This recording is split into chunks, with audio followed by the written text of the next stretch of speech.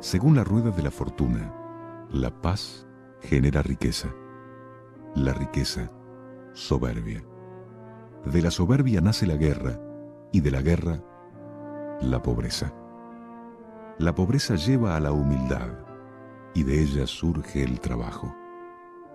El trabajo alimenta la paz y la paz genera riqueza, pero luego la riqueza. Tenemos algo que proponerte.